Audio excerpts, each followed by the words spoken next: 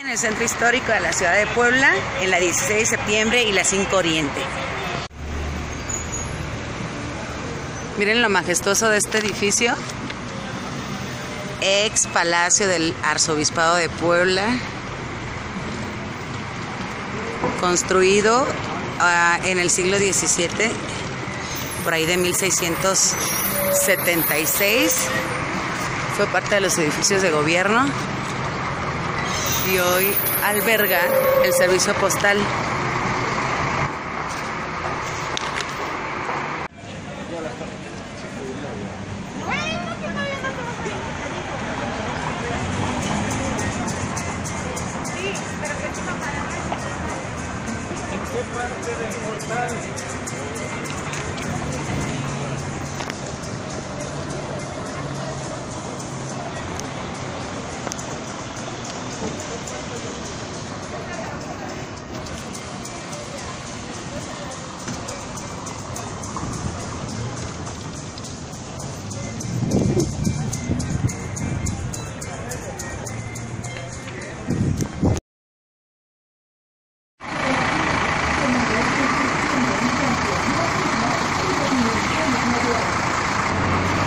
Miren nada más lo increíble y lo grande de este edificio. Es todo esto, ¿eh? Dice ahí Palacio Episcopal. Este palacio sirvió de morada para los obispos hasta mediados del siglo XIX. Dice ahí, la fachada aún se encuentra decorada con ladrillo rojo colocado en petatillo y azulejos de talavera. Cheque nada más.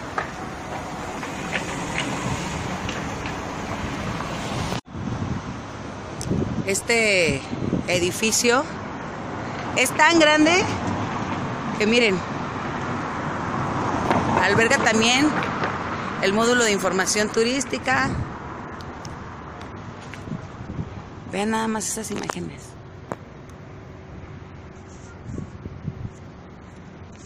Esto ya es parte del colegio de San Pedro. Miren. Dice el Colegio Seminario de San Pedro fue fundado por el obispo Juan de Palafox y Mendoza.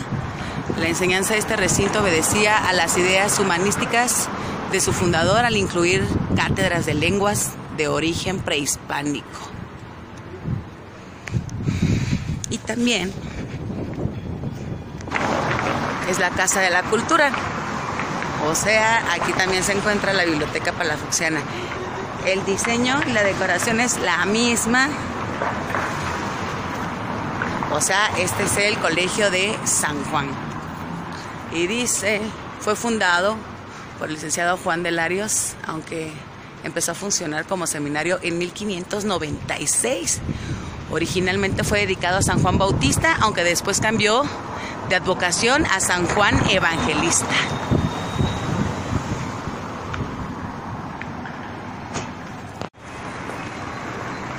Aquí ya no tiene, hasta aquí termina. Y ya a este lado es el Palacio de Justicia, otro de los edificios emblemáticos de la ciudad. Claro, en la parte de enfrente, la majestuosa Catedral de Puebla.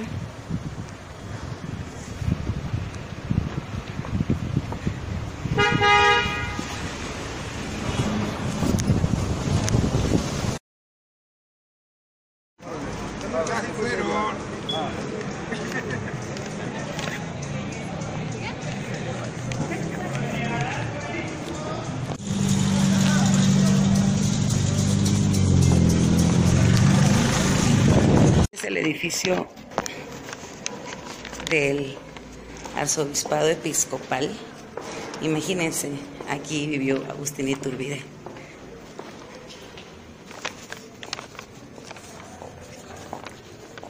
Aquí se ve la torre de la campana de nuestra catedral. Imagínense toda la historia que ha de encerrar este tipo de edificios. Bueno, imagínense, en 1914 fungió como escuela y además, bueno, pues tiene mucho que ver su decoración y su arquitectura con el Colegio del Espíritu Santo, con el Colegio de San Pantaleón, que están aquí muy cerca de esta zona, en el centro histórico.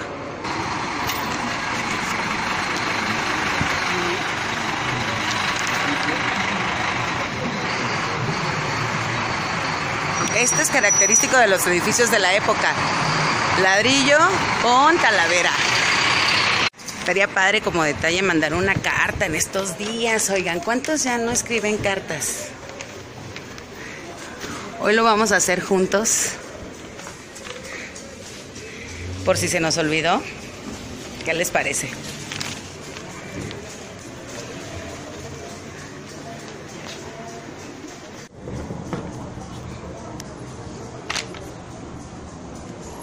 Voy a comprar mi en la taquilla mi sobre. Este es su timbre Ajá. y en este puedes enviar. ¿Y cuánto cuesta este sobre? 19.50. Ok, este por ejemplo es del Día del Cartero que fue ahorita en... El 11. Ay, perdón. De- sí. El 12 de noviembre. de noviembre. Ok, se canceló este año el, la De estampilla de Santa Claus y todo. ¿verdad? Ok, perfecto. Muchas, ¿Y de qué hora a qué hora están abiertas las oficinas? De 8 de la mañana a 7 de la tarde. Perfecto, gracias. Ya tengo mi hoja, ya tengo mi sobre, ya estoy en correos. Voy a escribir mi carta y obviamente pues la voy a mandar, ¿verdad? Este sería un muy buen detalle para estos días en donde, bueno, compartimos hay una tradición que ojalá nunca se acabara y que aprendiéramos a hacerlas y que les dedicáramos tiempo a los niños para que la hiciéramos juntos. Aquí es remitente y destinatario. Ahí está. Y las Reyes Magos.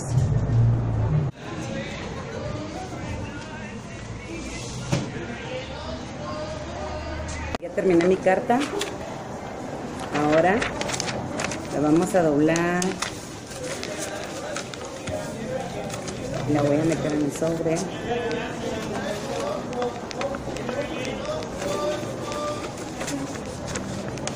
De 13 a 15 días desde que tarda. Y para ah, no hacer esto, está esta. Está bien.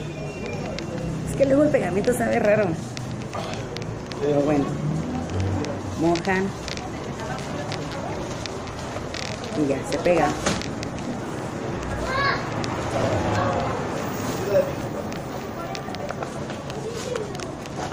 Y queda. Voy a entregarla y ya llegas a este lado. Ah, hola. ¿Cuál es el siguiente paso?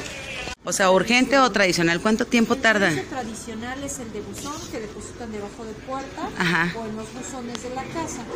Ese te tarda de 7 a 10 días hábiles. Ok, O el servicio registrado que tarda el mismo tiempo pero tiene un, un Costo. número de seguimiento Ah, ok. y te firman de recibido.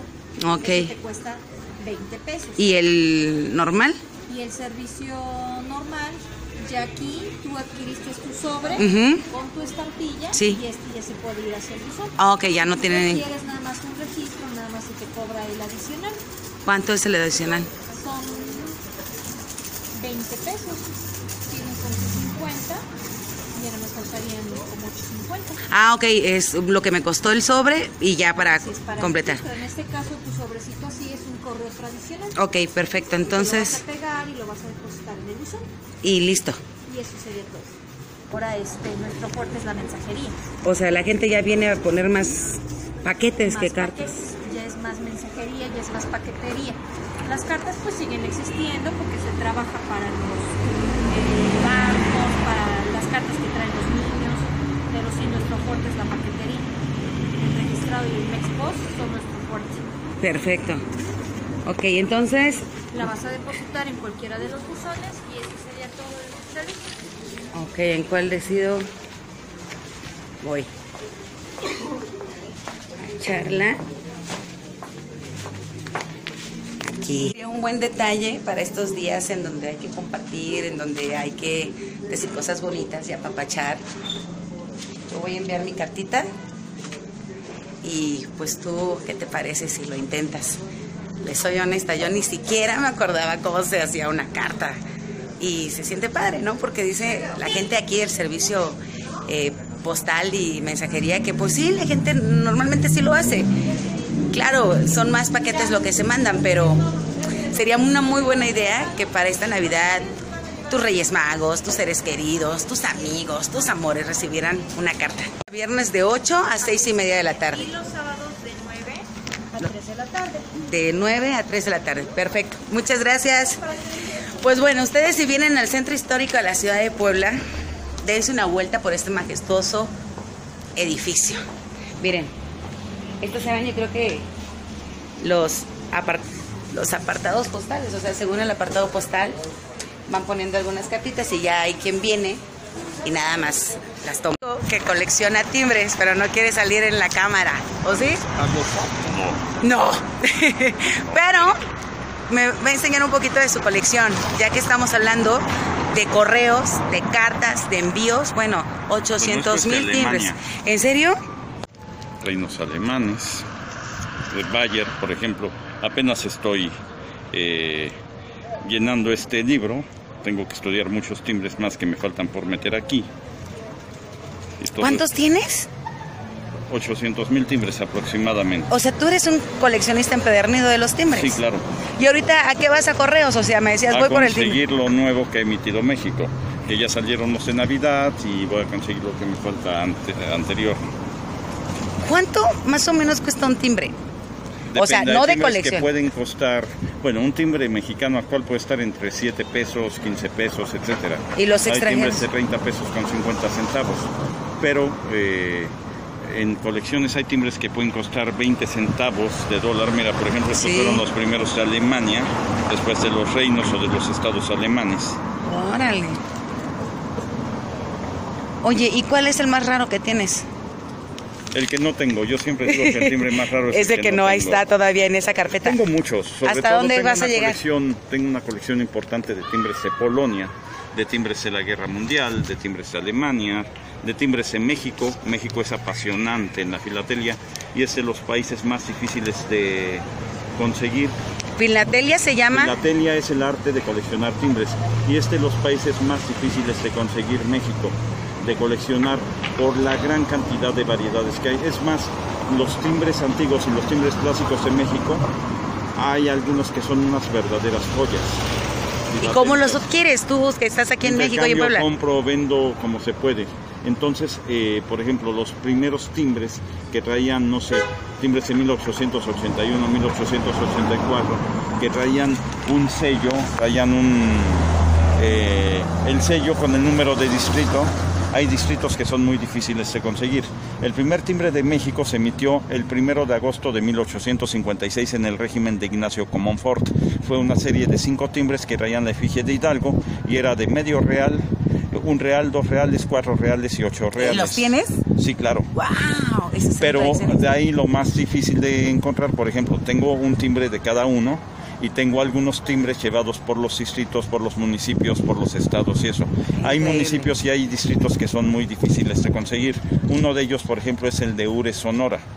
Hay timbres de Ure, Sonora que traen el distrito de Ure, Sonora que son carísimos y que no cualquiera lo tiene. Oye, ¿y hasta dónde piensas llegar con tu colección de timbres? No tengo idea. Pero hasta qué. Me apasiona porque la filatelia es un arte que te deja una cultura. ¿Y tú mandas cartas con alguno de esos Sí, timbres? claro. ¿Alguna vez has tenido que sacrificar un timbre? Alguna vez cambié 8 mil timbres caros míos y pagué 20 mil pesos en efectivo por un timbre ¿De, y, y de dónde era? ¿Qué? eh, de México. ¡Wow! Muchas gracias. Lástima que no quieres salir en la cámara. No. Pero Porque medio mundo sabe quién soy. Medio mundo... ya con esa voz le reconocen. Sí, claro. ¡Ay, te amo, amigo! Soy Wendy Moreno. Dale me gusta y comparte este video. Y cuando visites Puebla, no olvides su centro histórico. Estoy en la 5 Oriente y 16 de septiembre. Este es el edificio del ex Palacio del Arzobispado de Puebla. Hoy alberga oficinas del gobierno federal, las oficinas del servicio postal, exactamente en contraesquina de nuestra hermosa catedral. Y si decides estas vacaciones viajar el mes de diciembre, está listo para que lo disfrutes aquí en Puebla. Dale me gusta, comparte. Qué chula es Puebla, ¿no?